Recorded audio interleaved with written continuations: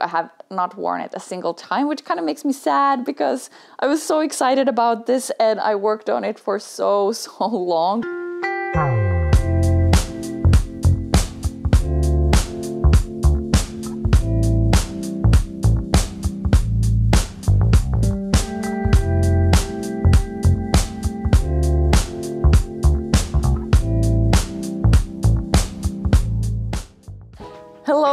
Welcome to another episode. My name is Kika and today I'm gonna show you all the things that I'm currently working on knitting wise and also actually I just started a crochet project but before we get into all that I need to show you my finished Ganni, ins Ganni, Ganni inspired sweater that if you saw the week from last week no, the video from last week, um, you know that I ran out of yarn. So this is all the yarn that I have left. So safe to say, I am definitely not gonna have enough yarn. And I wasn't able to complete this, but now I have completed it and I unraveled the sleeves again because I didn't have so much yarn so I made them like really tiny or the first sleeve really tiny and now I have the volume, the puffiness.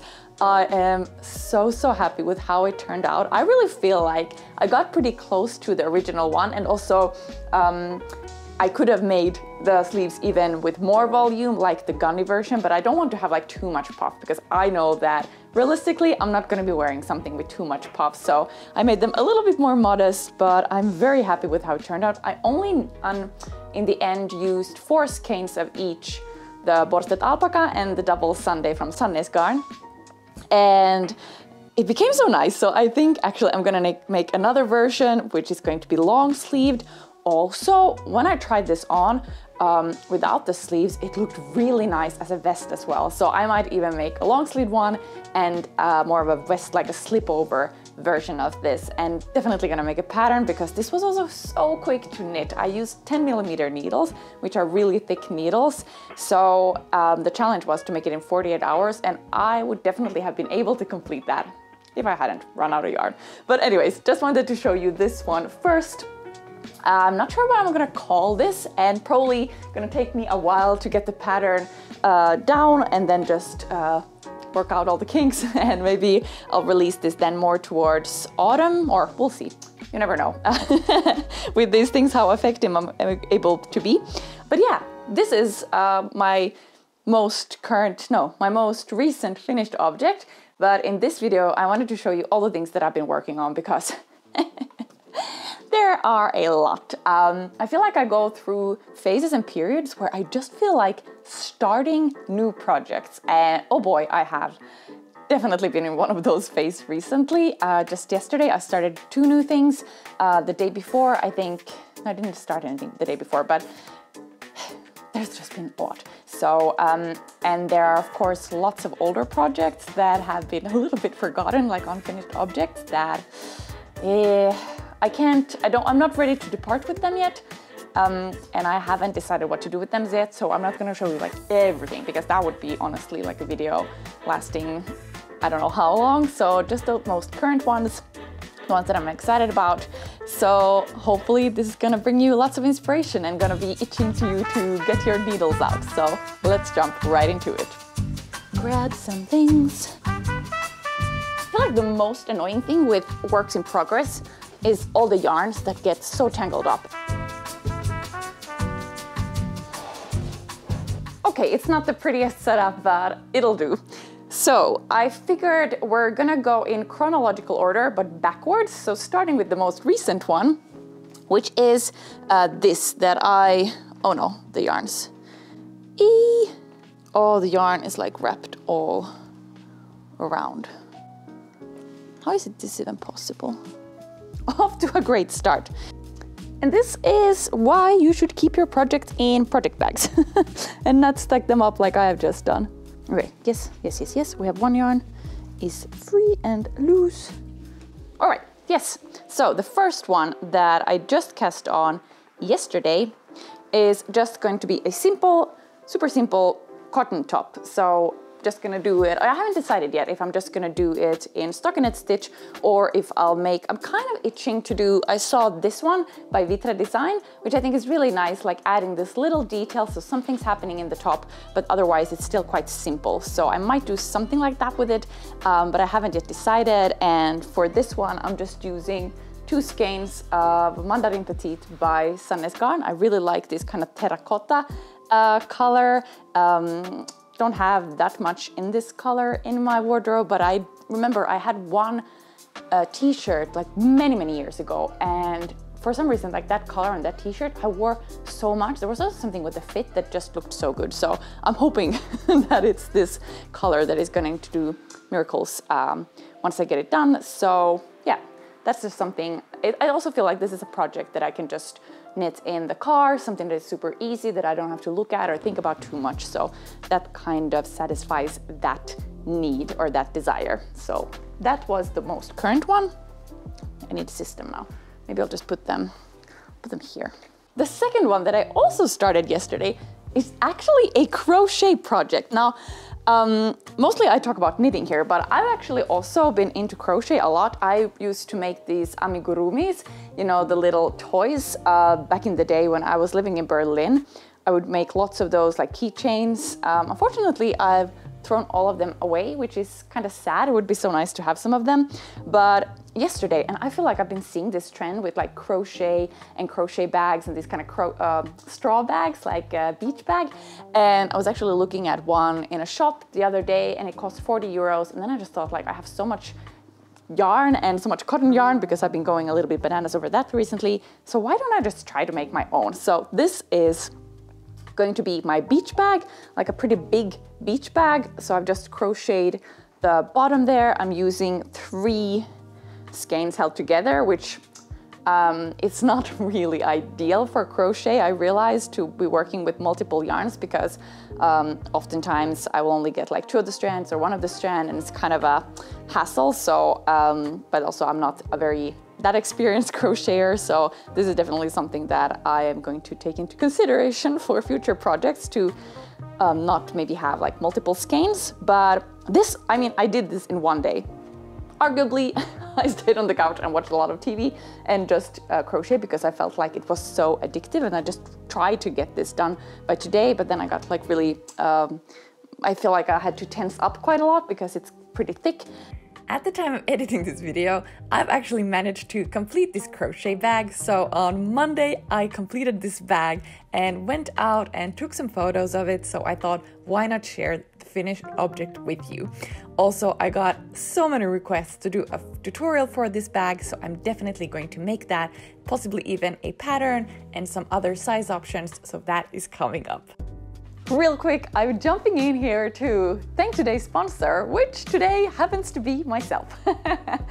For the entire month of June uh, 2022, you can now get all my digital courses for 50% off with the code June 2022. But this code is only valid for June of 2022. The Creative Photography with Kika class consists of three photo projects that you'll be able to complete step by step in them, you'll learn how to use Photoshop, how to get over the awkwardness of taking a self portrait, also using the self timer function either on your camera or your smartphone, also making the most out of your smartphone, or getting more comfortable working with a camera. Plus, lots of tips and inspiration and ideas to get started and to develop your own style.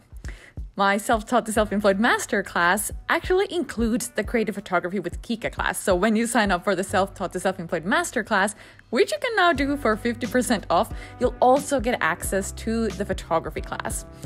Now, the name says it already, but the Self Taught to Self Employed Masterclass is really a step by step class where you'll learn how to develop an idea from your creative passion or interests and make it into something actually sustainable that can earn you an income.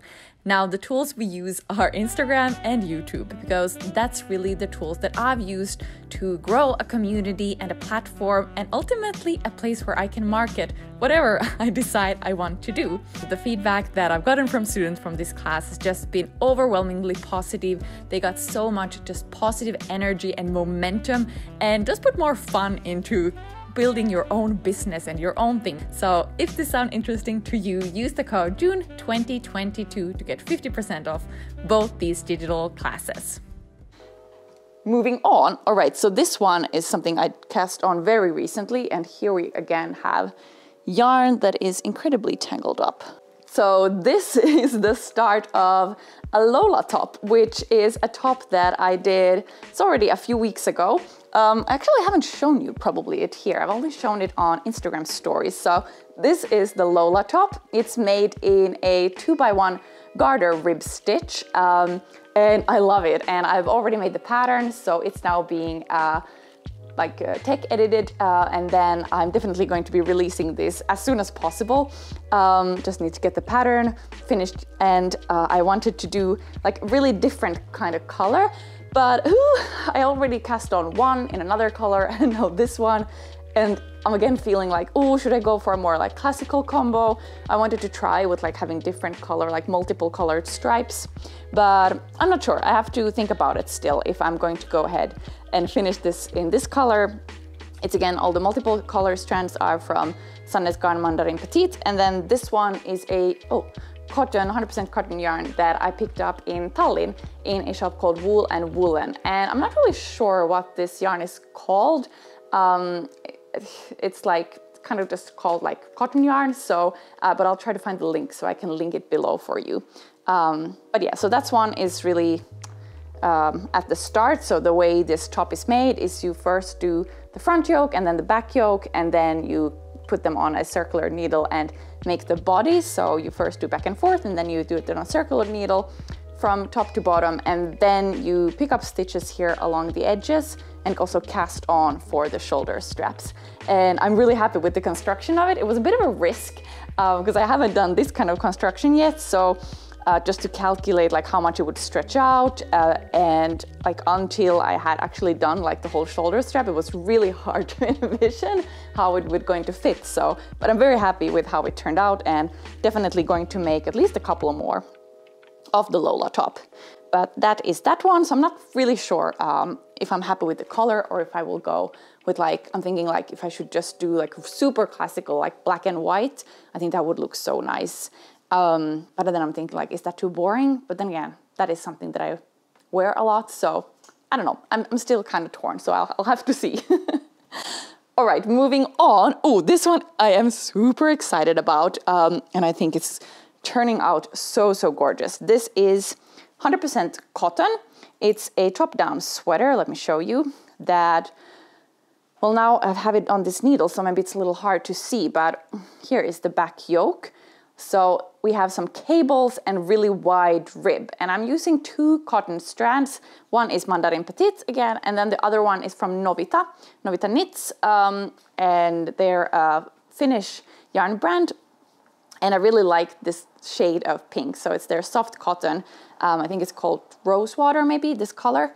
Um, and I just felt like I really want something long sleeved that is in cotton. And then I had, I've never really done like this type of cable motif with this like wide rib in cotton.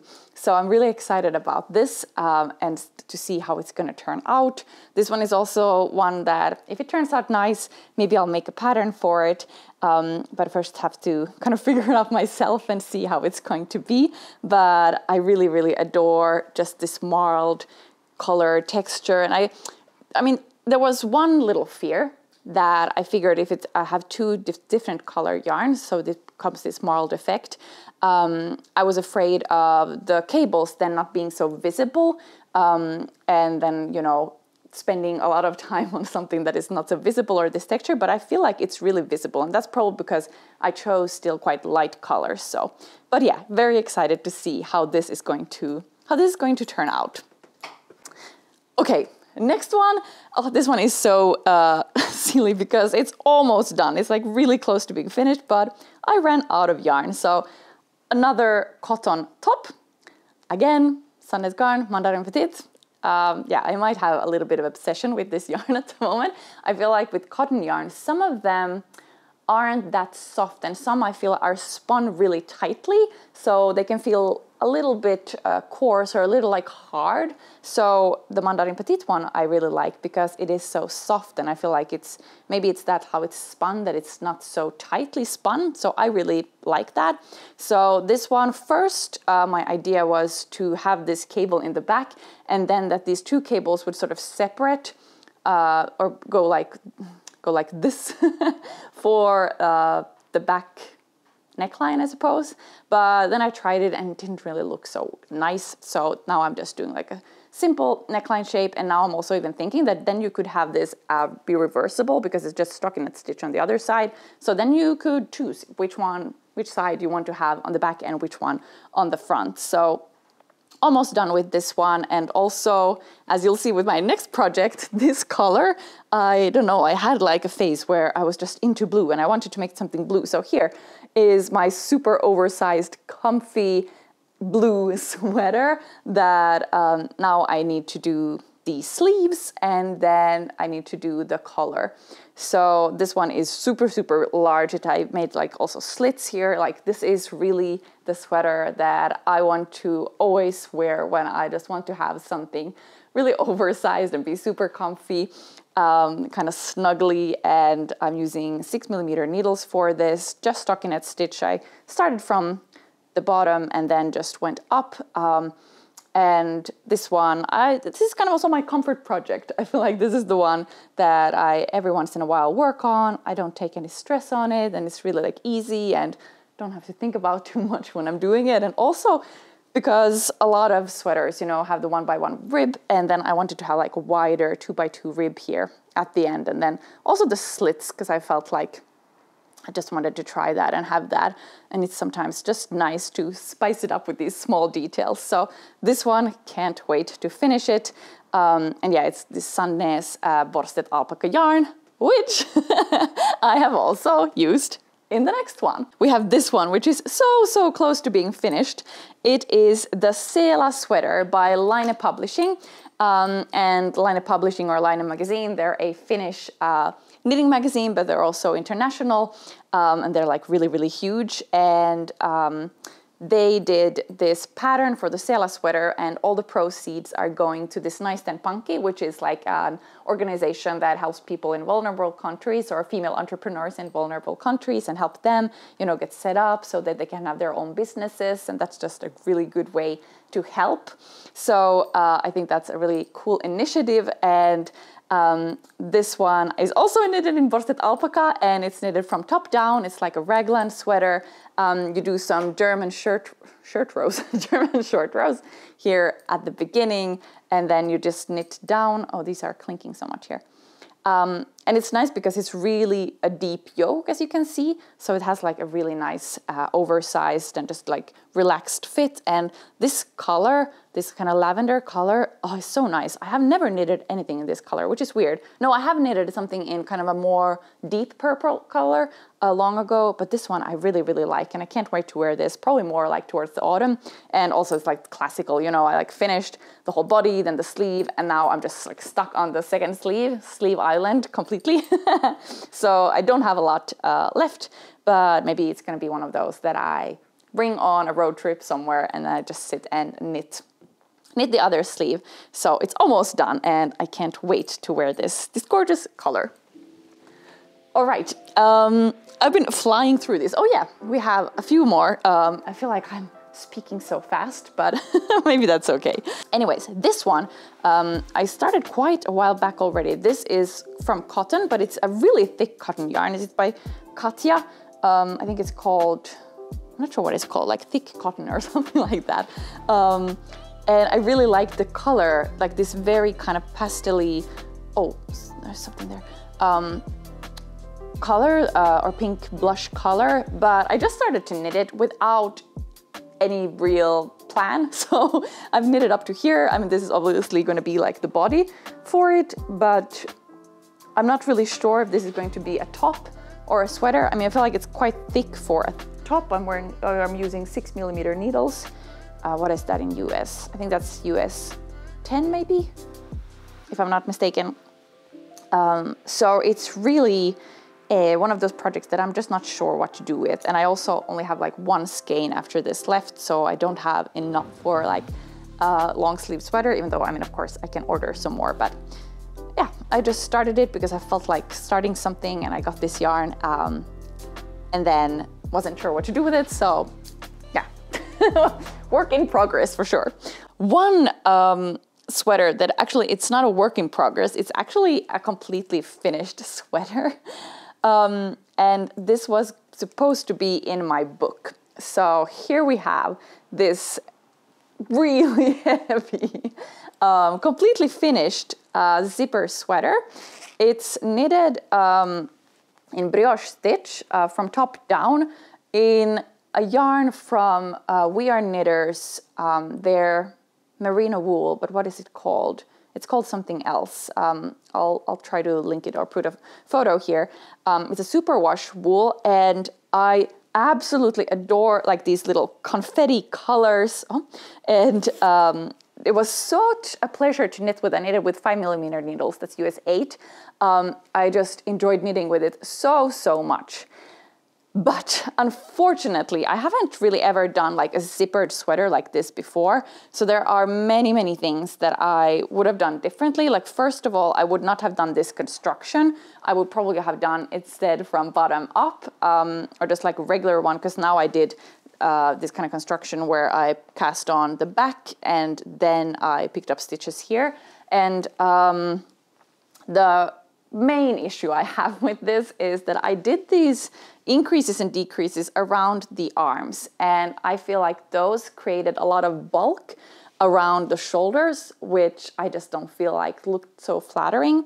And then the second issue I have is the zipper. Like this yarn, I think is too bulky, or the sweater is, or it just doesn't look good. Like it became very bumpy, and I just wasn't 100% happy with it. So I then I just decided that, you know what, I'm not going to include it in the book. I have not worn it a single time, which kind of makes me sad because I was so excited about this and I worked on it for so, so long. But sometimes you just have those projects that um, everything seems to be going good until the finished product or the result, and then you just aren't completely happy with it. And of course, I'm not you know, I don't feel like we have to be that perfectionistic. I think it's okay that there are some small mistakes, but this one just felt like too big of design flaws. Um, so now I feel like I know how I should do it. I would also choose definitely a different yarn. So I learned a lot, but it's one of those that unfortunately was more of a lesson to be learned than um, something that I got uh, a new favorite piece from. Okay, and then uh, the last one that I'm keeping in a project bag is um, my garter stitch cardigan where I am using an insane amount of mohair. I'm using five, oh, five skeins of this really, really pink mohair yarn. They're all different. There, some are from uh, Parmin or Permin, I'm not sure how you pronounce that. Um, this angel yarn, then some are Hjärtegarn, and then there's one Sandnes garn. Uh, silk mohair, um, and I started this when I was in Portugal, and I just really got this crazy urge for something pink. So this is going to be a garter stitch cardigan, but I mean, using five skeins of mohair, needless to say, it's a little bit of a challenge to knit because they just tangle up so, so much. So um, yeah, this is one of those that I'm sure I'll have like another craze of pink and then I can return to this. But for now, it's a little bit on hold and also maybe waiting for a little bit colder weather um, to, to continue that one. Alrighty, those were all my current works in progress. Um, maybe I'll even start some more. I have so much yarn that I've recently acquired, so I really feel like I just want to knit it and, you know, bust my stash a little bit and all these cotton yarns. Um, let me know, it would be so, so fun to hear what you're working on at the moment. Um, so let me know in a comment below um, what you're working on and if you also have multiple projects going on at the same time. Um, I think most of us have a few different projects at the same time. Um, I have heard that those uh, monogamous knitters exist out there that only work on one project at one time, but I could never do that. I'm just way too, um, I was going to say fickle, but way too, um, I guess like my mind changes too much and I just need that variation. But I think, you know, everybody everybody has their own, I guess, personality when it comes to these things and just how you feel like uh, is best for you. And I at least do not feel any guilt for having many projects at the same time. Obviously, it's nice to then also finish some stuff uh, at some point, but I always feel like that that time comes.